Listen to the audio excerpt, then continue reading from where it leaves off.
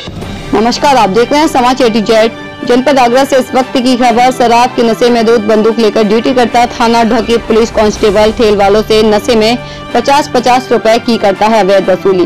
पैसा न देने पर ठेल वालों के साथ करते हैं मारपीट। मारपीट का विरोध करने पर तानी ड्यूटी की बंदूक। ठेल वालों पर लगाते हैं बंदूक, छीनने का आरोप ठेल वालों ने बनाया सिपाही का रिश्वत लेते हुए वीडियो। मामला बाजितपुर के यमुना एक्सप्रेसवे के पुल के नीचे का है वीडियो। सोशल मीडिया पर हुआ वायरल। समाज एटी जेड के लिए आगरा से मनोज कुमार की रिपोर्ट। पैसे लो पैसे लो। बीस रुपए तो बीस रुपए। सब ठेला वाले बीस रुपए ले लो ना। क्यों नहीं ले रहे? गोली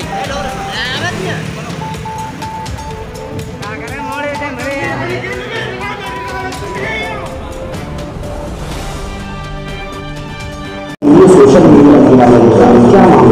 देखिए, एक, अभी प्रकरण संज्ञान में आया है कि एक वीडियो वायरल हुआ जिसमें एक डॉकी थाने का एक सिपाही है जिसने कुछ शराब का सेवन करके वहाँ पे हत्या की है।